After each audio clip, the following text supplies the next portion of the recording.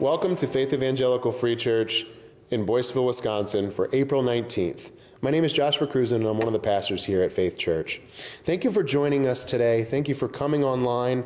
I hope that you're in this time getting some good rest, getting some good focusing on God, and, and I just hope that this time is enabling you to turn your hearts to Him.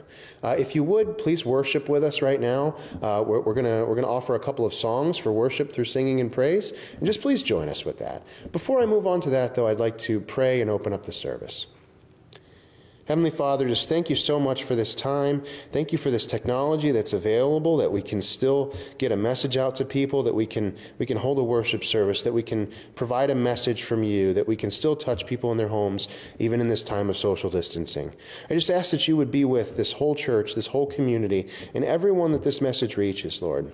We just ask that you would, would, would guide us and, and just give us wisdom and give us strength to get through this time, to, to endure staying at home, and to be separated from each other, that that is an important thing right now, that we are to listen to the authorities that are appointed over us, and that we would just get this thing to pass. But also, Lord, I just ask that you would that you would have this time uh, teach us and show us what it is that you're uh, asking us to get out of this time, Lord. I, I, I, truly believe that this time is, is helping us and, and causing us to refocus ourselves and to, to rethink how we do daily business and how we do church, how we are the church, and how we are to get on mission for you and to spread the gospel to those that might not know it, Lord.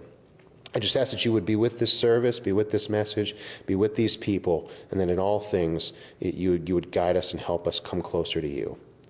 In your Son's name, amen.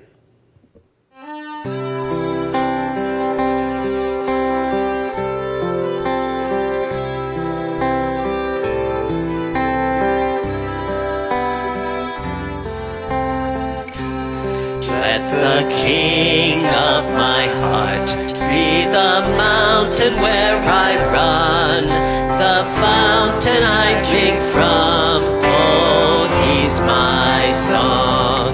Let the king of my heart be the shadow where I hide, the ransom for my life. Oh, he's my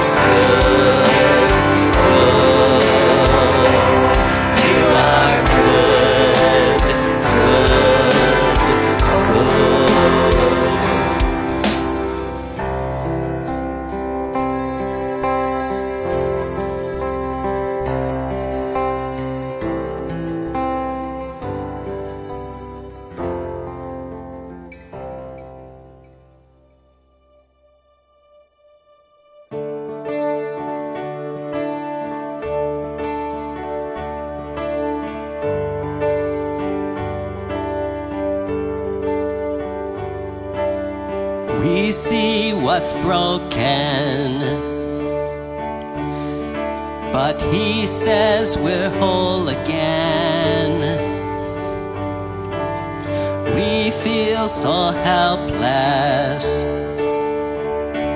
but he says there's hope in him. We see our weakness but He places His strength in us. We feel so powerless, but His mercy and grace are more than enough. God doesn't see things the way we do. His perfect love defines what is true. So who are we to disagree when God says He loves you and me? He says there's freedom He says there's freedom from all of our prisons. from all of our prisons. He asks why we're still inside. That's why we're still inside. When the door is wide open,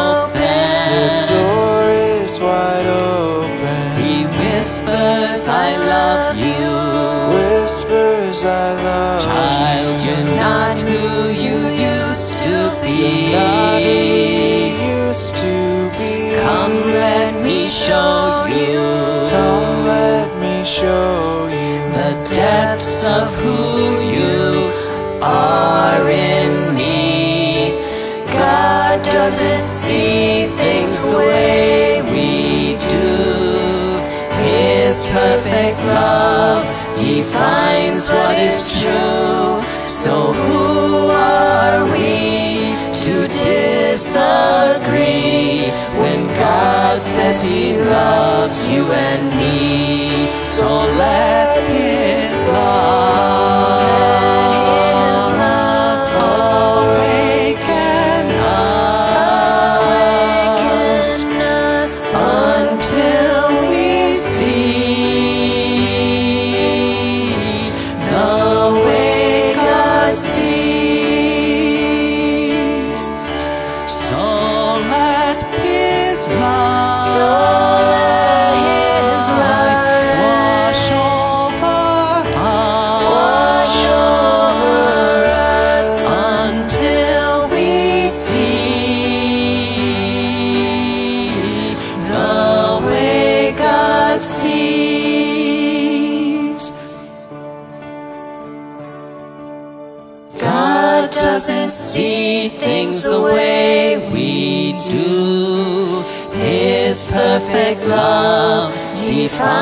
what is true. So who are we to disagree when God says He loves you and me?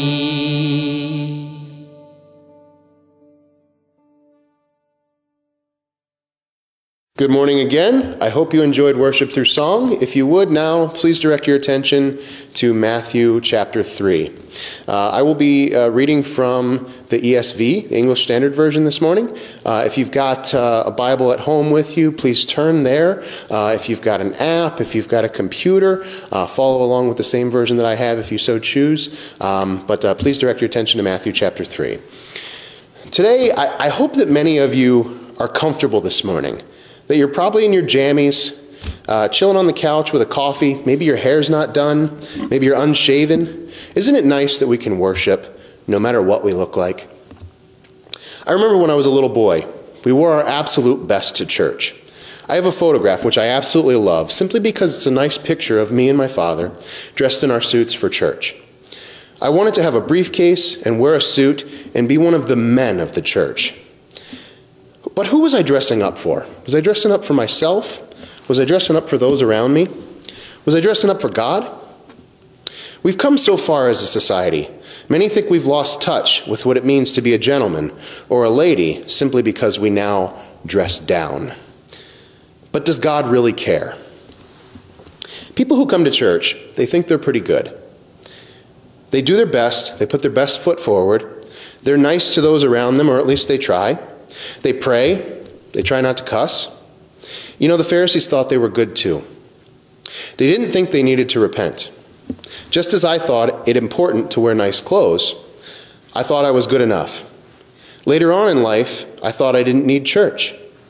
I thought I had a relationship with God. I didn't need fellowship. I didn't need an accountability group. I believed in God. I was good to go.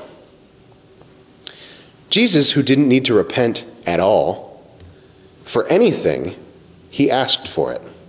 He asked to be baptized. He asked to show repentance. John says, Who am I that I'm not even worthy enough to carry your sandals? You should be baptizing me. What lessons can we learn from this act of humility by the King, the perfect one, the Lamb? Please turn with me and let's learn a bit more about what it means to repent. In this present time, we sure need it. With this COVID 19 coronavirus hanging over our heads, don't you think the world needs to repent right now?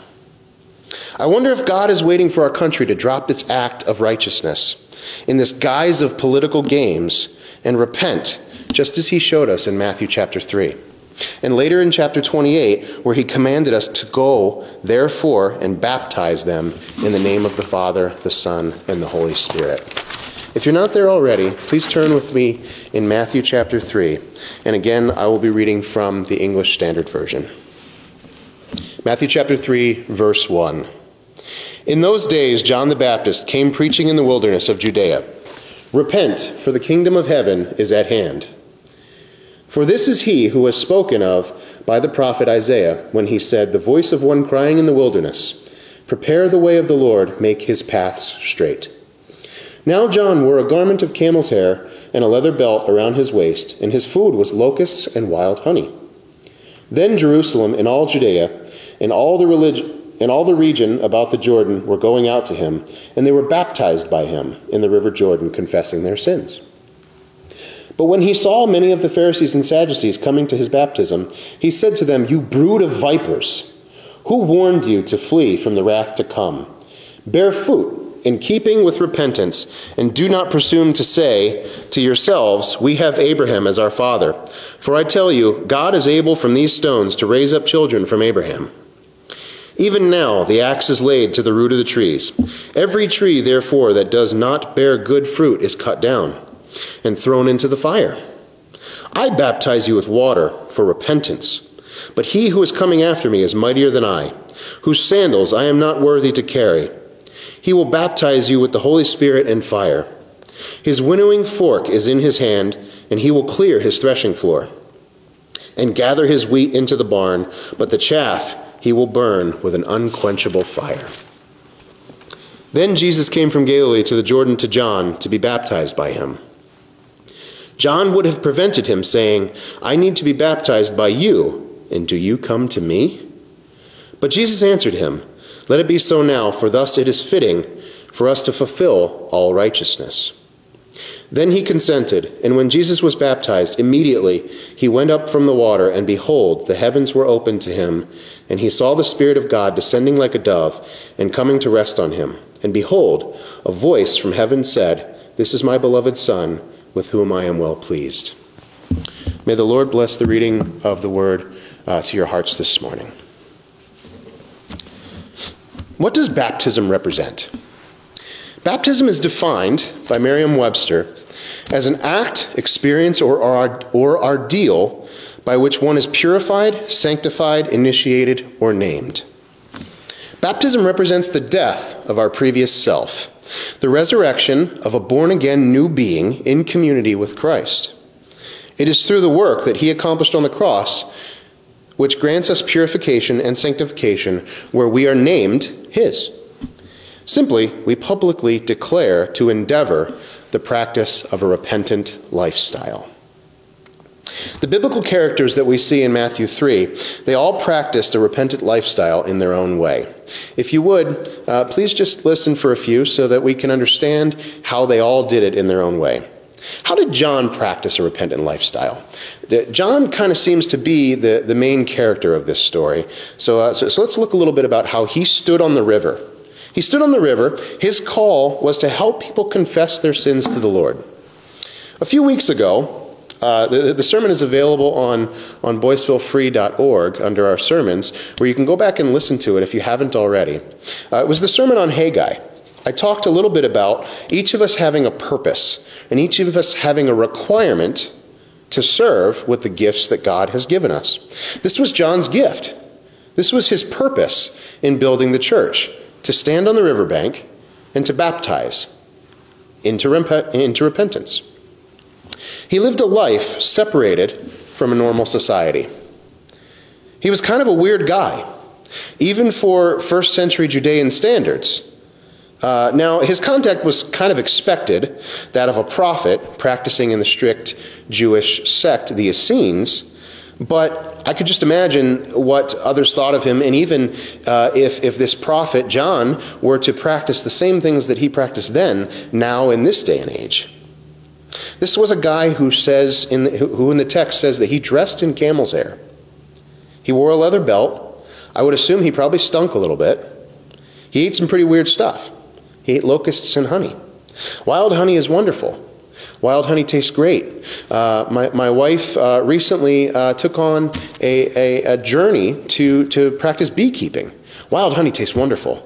I'm not going to eat locust anytime soon, though. Another way that he practiced a repentant lifestyle was that he challenged everyone. He called on Jews and Gentiles alike to be baptized, to repent and confess their sins. You see, Jews baptized Gentiles if they converted, but John made it known that the Jews needed to be baptized as well, but they also needed to be baptized in the way that he was describing it. It was quite different from the way that they practiced it. John was making a different case for baptism than Jews practiced. John was telling them that they could be baptized once, and the rite or ritual was complete. Also, it meant something different than what they were practicing as well. It meant that they had a true repentance for their sins and that they wanted their Savior to, to, to, to take their sins away. How about the Pharisees? How did they practice a repentant lifestyle? They certainly practiced a, a, little bit different than the way John did. They practiced something that we would call a religious discipline. The priests had to be ritually clean in order to serve at the, at the tabernacle. And Israelites who had become ritually unclean had to restore their situation with the passing of time and bathing their whole body in fresh, ritually clean water. This is according to Levit- Leviticus chapter 15. If you've got some time later on, go back and read that and kind of break, uh, uh, brush up on, on some of the requirements that were necessary for ritual cleansing. To remain righteous, they had to wash their entire bodies after some sort of determined expiration date, before certain festivals and holidays throughout the year, or before Shabbat, the Sabbath. They had to wash their hands before they ate. They washed a body before it was buried. Women had to practice cleaning themselves before they could touch their husbands after menstrual cycles. They practiced ritual slaughter. They could only walk a certain number of steps on the Sabbath. They could perform no work for 24, 25 hours starting Friday, approximately at sundown, through the completion of nightfall on Saturday. These were all the things that the, the Israelites, the Pharisees, they were all tied to. This was a religious discipline that they all followed, and it's what they believed made them righteous. All these things, um, uh, uh, lastly, they, they, looked at their, they looked at their ancestry. They looked at their bloodline, which somehow raised them above another. Due to their bloodline, they felt that they didn't need repentance. They felt that they were good to go the way that they were, through who they were, in their flesh. Do you see a pattern there? I'll say that again. They thought that they were good to go by who they were in their flesh because of their ancestry. But today, we know that we have a much better way and we have a much better understanding of repentance. They were descendants of Aaron. Even John was in this same bloodline. His parents were Levites, even although he was not a priest. All these things that they looked at, that the Pharisees did as far as a religious discipline, were fine. What the Jews were doing wasn't wrong for their time, but they were missing something. They were missing something that was happening right in front of them, something that was prophesied to happen, but they refused to believe it and they refused to see it. They were following a practice defined in the Pentateuch where they were in a perpetual cycle of bondage. Believers today are not necessarily part of this story, but I certainly want to explain on how we practice a repentant lifestyle in our current day and age. There's various ways that, that everyone believes that is the best way to practice a repentant lifestyle. Some choose to homeschool. Through homeschooling, parents have more ability to direct the sources of knowledge for their children. Or they're able to help them and provide a more focused education away from the potential distractions that come with public life. Many Christians educate in this way, removing their families from a society that pushes a, secular, a secularist belief style. Another way that we practice repentant lifestyle is the way we dress. We're told to dress modestly, regardless of whether we are man or women. Uh, however, men are, dress, are, are told to dress in such a way that is honoring to God. And women are told to dress in such a way that is honoring to their husband, both carrying themselves in such a way that points to the commitment to their spouse. Other ways that we practice a repentant lifestyle is through the way we talk, uh, physical activity, through hobbies, uh, we, we, choose not to take the Lord's name in vain. It's a command, so that's really good that we do that. Um, we, we, are, we try not to belittle or diminish others in conversation. We attempt to talk with love and compassion. We speak with humble language and we do not boast. We honor God with exercise and hobbies and activities which are nurturing to our mind, body, and spirit. Many people take along a regimen, which is, which is an ordered life, which again, I talked about in a, in a recent sermon as well. You can go back and listen to it. It's wonderful to have an ordered life, which is, which is for a purpose. Through entertainment, um, we, we can make choices, and, and people choose to associate themselves with certain movies, TV shows. Many practice family game nights, invite friends over for cards and for coffee, play instruments, sing songs, but we don't do the things and entertain ourselves in, in such a way that the world does, because we know that it is pointing us towards a way which is not really righteous. Many practice daily Bible readings, devotionals, personal study, intense prayer, and fasting. In short, the discipline that I've spoke of here and, and, and the, that I've, I've talked about before, they're not bad. In fact, this religious discipline is encouraged. However, when these things become an obsession, we cloud the real teaching that Jesus commanded us to carry out. Going back to Matthew 3, I want to uh, talk a little bit about Jesus as the third character of this story. He asked for baptism. But he didn't need to repent at all. He lived a perfect lifestyle, he lived a perfect, sinless life. So why did he do it? Up until now, I've talked about the rite or ritual of baptism as a public declaration to endeavor in the practice of a repentant lifestyle and what it means to live in that life. Jesus states, Let it be so now, for thus it is fitting for us to fulfill all righteousness he is describing his reason for baptism. Jesus did not need to repent. His act of baptism was him showing his act of love in service and that he identified with us as a human being and as a sinner. You see, Jesus was the greatest leader that this world has ever known. Not only did he tell us what we needed to do, but he showed us exactly how we were to do it some of the examples that, that, that he used in his ministry and the way that he called people to himself, we see him bringing in Matthew, right here, um, the, the, the tax collector. Uh, from, from Jewish standpoint, uh, a tax collector was the lowest of the low. There was no reason why the teacher that he claimed to be, and that the Jews and the Pharisees called him this teacher, there's no reason why someone of that social status would concern themselves with such sinners and such tax collectors. He ate with them. He ate with his disciples. His disciples were sinners. There's no, there's no argument about that, regardless of what denomination or what you believe, what theology you believe. His disciples were sinners. They were just like us. He eats with Zacchaeus. The priests rebuke him for associating those which are below him. The Pharisees rebuked him for everything that he did. He conducted himself in such a way that they looked at him and said, How can you call yourself teacher when you conduct yourself with sinners and you identify with those that are below you? Furthermore, a sinner touches him even, which is something that the Pharisees would, would never have allowed to happen. When the woman wiped his feet with her hair and tears, again, something that was absolutely not in common practice during that time.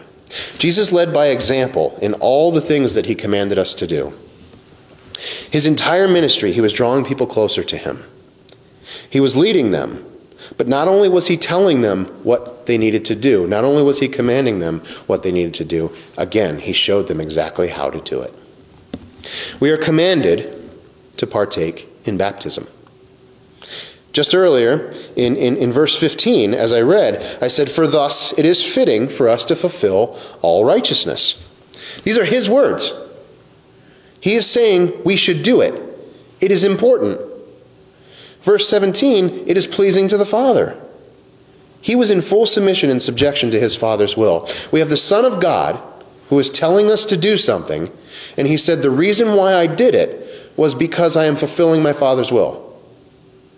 To me, there's no argument that we have to baptize and that we are commanded to do it for our own selves, and then we are commanded to go out and, and find others that would like to come into this repentant lifestyle. Give the public declaration that, that they want to be a follower and a disciple of Jesus Christ. If Jesus was in full submission and in full subjection to the Father's will, are we? We are commanded to baptize others. We don't have to be Baptists. We don't have to be evangelicals. We, we, we, can be Lutherans. We can be Catholics. We can be Presbyterians. We can be Methodists. We can be independent Bible churches. We can be whatever we want. But Jesus commands us to baptize. In Matthew 28, verses 18 through 19, he says, All authority in heaven and on earth has been given to me. Go therefore and make disciples of all nations, baptizing them in the name of the Father, and of the Son, and of the Holy Spirit. When I was younger, I looked at religion in a very different way than what I do now. I looked at it as something to be done, something that we did.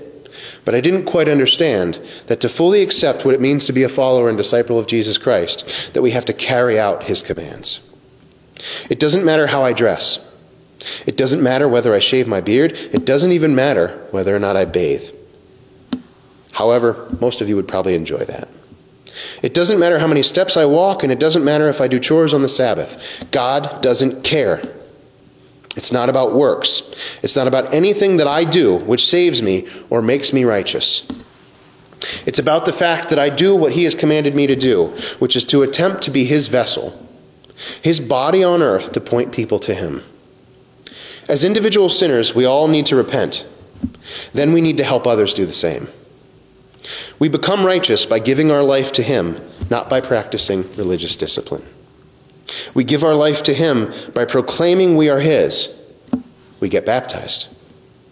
We must show and tell others what He has done for us. We must model the Christian life. We must speak about the good news. In our local church last year, we saw one person baptized. This event was absolutely beautiful. Please don't let me take that, uh, that glory away from that uh, event whatsoever. But let's do everything we can as a local church to baptize one person every month for the rest of the year. Folks, that's nine people. If we start this month. There are ways that this can be accomplished, even in this time of social separation, this social distancing due to this corona COVID 19 virus. Uh, it, it can be done. If you don't know how, and you're not a part of this church, get a hold of your local pastor and ask them how it can be accomplished. And if you don't belong to this church, that's fine. Work with your local body, send us a message. Let us know that the heavens are rejoicing and that the angels are singing his praises because one another has come home. If you don't have a church, send a message, give us a ring, text message, whatever, and ask us how to find a place to belong. We'd love to help you, even if it means not visiting us. Baptize them, bring them into relationship with the Father. I leave you with this our call is to embrace the world as it is and to attempt to make it better through His work on the cross. This is our mission field. Go get on mission and fulfill His righteousness. Go get Him, church.